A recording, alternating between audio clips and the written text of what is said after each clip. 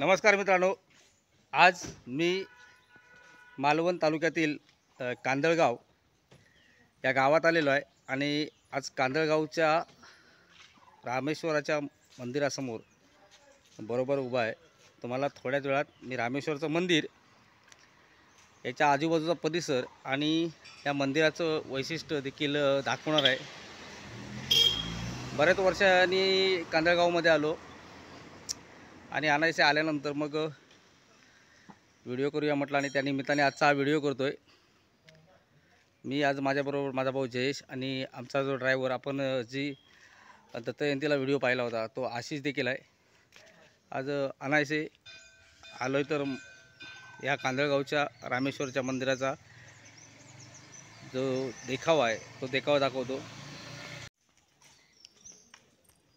समोर पाहताय हे रामेश्वरचं मंदिर आहे खूप पुरातन मंदिर. आणि त्याला थोडं थोडं आता हळूहळू कालां लय तस्मे नमा. प्र म्हणण्याप्रमाणे जशी जशी सुधारणा करत आलेत तशी सुधारणा या मंदिरात देखील झालेली आहे.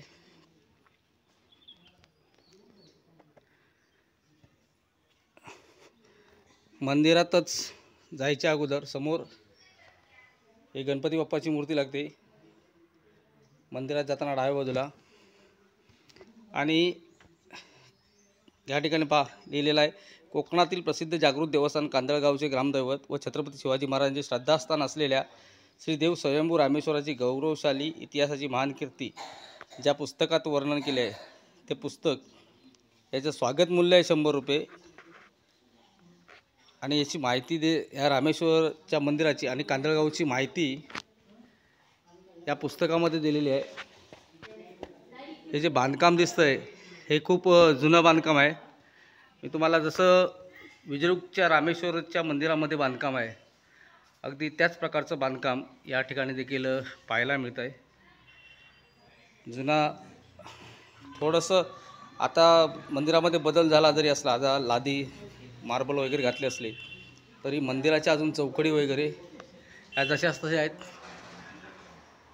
रामेश्वरच्या विजयरूपच्या रामेश्वरच्या जशी घंटा आहे तशीच घंटा या ठिकाणी देखील आहे. आणि समोरच आता हा ज्यावेळी मंदिर निर्माण झालं त्यावेळीचं हे लाकूड आणि या लाकडापासून बनवलेला हा दरवाजा आहे. असे या मंदिरात भाविक येत असतात आणि हे पर्यटक देखील खूप दूरदूरवरून येतात. ज्यांना ज्यांना या मंदिराची माहिती आहे अशी लोक या ठिकाणी येतात. हे आमच्या इकडचे जे तरंग आहेत देवाची निशाणं ती निशाण आहेत. आणि हा गाभार आहे. बहुतांशी कोकणामध्ये तुम्हाला पाहायला मिळेल की कुणकेश्वर विमलेश्वर जर सोडला तर मंदिरांच्या आतमध्ये म्हणजे प्रत्यक्ष अगदी देवापर्यंत जाता येत नाही. याला कारण पण असं आहे की सुचिरभूत झाल्याशिवाय व्यक्तीला प्रवेश नसतो. म्हणून कोकणामध्ये बहुतांशी देवांना हात लावायला दिलं जात नाही. या ठिकाणी अगदी स्ट्रिक्ट वॉर्निंग दिलेली आहे. नंदी गाभाऱ्यात म्हणजे हा जो समोर दिसतोय हा नंदी गाभारा आहे. या नंदी गाभाऱ्यात ब्राह्मणाशिवाय आणि गुरव ह्यांच्याशिवाय कोणी प्रवेश करायचा नाही आहे अतिशय मनमोहक नंदी महाराजांची मूर्ती आहे. समोर डाव्या बाजूला गणपती बाप्पा त्याच्यानंतर शिवलिंग आहेत. आज मला या ठिकाणी माहिती द्यायला गावातील स्थानिक कोण नाही आहे त्यामुळे मी ही का ठेवली त्याची माहिती सांगू शकत नाही. परंतु ही खूप जुनं मंदिर जुनं स्ट्रक्चर पहिलं जे होतं हे समोर पाहायला मिळते बघा. हे आखीव रेखीव काम लाकडांवरचं आज पाहणं दुरापास्त झालेलं आहे परंतु मला वाटतं हे जवळजवळ तीन साडेतीनशे वर्षापूर्वीचं तरी हे काम असेल आणि त्यावेळी देखील केलेलं कोरीव काम आहे. आणि प्रत्येक ठिकाणची डिझाईन वेगळी आहे आणि ही वेगळी डिझाईन ठेवण्याचं पाठीमागचं कारण देखील वेगळं असेल. मी परत रामेश्वर मंदिराच्या गाभाऱ्याच्या बाहेर आहे आणि या आजी आहेत मगाशी ज्या आमच्या पाठोपाठ दर्शनाला आल्या होत्या. नमस्कार आजी. आणि हे त्यांच्या घरातील आहेत. नमस्कार. तुमचं गाव कुठला? मालवण मालवण. खुद्द मालवण? मी माणिकराव दळवी. काय कोणतं शूटिंग करताय? मी शूटिंग करतोय म्हणजे आज रामेश्वरच्या मंदिरात आले येत आहेत त्यांचं चित्रीकरण चालू आहे. आणि यूट्यूबसाठी हां यूट्यूबसाठी आपला चॅनल आहे मर्द मराठा. आणि मी मंदिरं चालीरीती आपापल्या कोकणात चाललेल्या चालीरीती. आणि काही जी खास वैशिष्ट्य असतात किंवा शेतकरी समाजातील अन्यायकारक गोष्टी यांच्या विरोधात प्रबोधन करत असतो. आज अनायसे तुम्ही आलात. तुम्ही मुंबईवरून ठाण्यावरून आलात. आल्यानंतर तुम्ही वारंवार या मंदिराला भेट देता. बघा मालवणमध्ये आचऱ्याचा रामेश्वर प्रसिद्ध आहे आणि या मंदिरामध्ये जे कोण मालवणमध्ये येणारे आहेत जसे आंगणेवाडीची भराडी देवी तसा आचऱ्याचा रामेश्वर प्रसिद्ध आहे आणि जे कोण मालवणमध्ये येतात ते मग त्या व्यक्ती अशा देवदर्शनासाठी येत असतात. याच्यानंतर मी तुम्हाला आणखी एका अशा पवित्र स्थानाची पवित्र स्थान दाखवणार आहे किंवा त्याची भेट घडवून देणार आहे.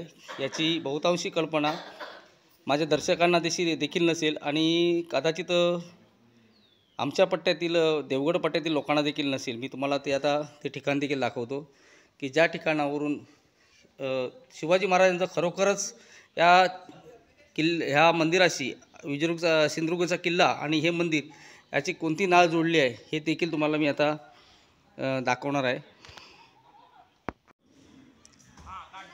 हे श्रीदेव रवळनाथाचं मंदिर आहे. यानंतर हा आजूबाजूचा परिसर एकदम शांत आणि निवांत परिसर आहे. या ठिकाणी एक औदुंबराचं देखील झाड आहे. हे असे पर्यटक या ठिकाणी ह्या मंदिराला भेट द्यायला येतात. आता तुम्ही जो पाहताय हा शिवाजी महाराजांचा पुतळा सिंहासनारूढ पुतळा आहे. आणि पहा ही शिवमुद्रा देखील कोरलेली आहे. आणि कांदळगावचे सुपुत्र व महाराष्ट्राचे मुख्यमंत्री माननीय नामदार नारायणराव राणे ज्यांना आम्ही देव संपूर्ण सिंधुदुर्गामध्ये दादा म्हणून ओळखतो त्यांच्या या उदार देणगीतून हा शिवाजी महाराजांचा पुतळा अर्पण केलेला आहे. आणि याच्यावरती पहा या ठिकाणी पाटी कोरलेली आहे ज्यावेळी हा पुत पुतळा बांधला गेला. आता तुम्हाला मी एका वटवृक्षाचं वटवृक्ष दाखवतोय बघा.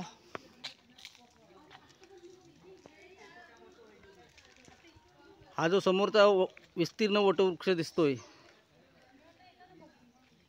हा पार बांधलेला वटवृक्ष आहे आणि हा विस्तीर्ण वटवृक्ष जो दिसतोय त्या वटवृक्षाला बघा. कादाची दिसत असेल नसेल तीनशे पस्तीस वर्षापूर्वीचा हा वटवृक्ष आहे आणि ब्रह्मरूप होऊन दिवसेंदिवस बहरत आहे. हा वटवृक्ष छत्रपती शिवाजी महाराजांचा वटवृक्ष म्हणून ओळखला जातो. आणि पुन्हा एकदा त्याच्या पाठीमागे खालती लिहिलेलं आहे. या स्मृतीप्रित्यर्थ कोकणचे भूषण महाराष्ट्राचे मुख्यमंत्री व कांदळगावचे सुपुत्र नामदीय नामरा नामदार श्री नारायणराव राणे यांच्या संकल्पनेतून व संपूर्ण सहकार्यातून हा शिवाजी महाराजांचा सिंहासनाधिष्ठित पुतळा उभारलेला गेलेला आहे.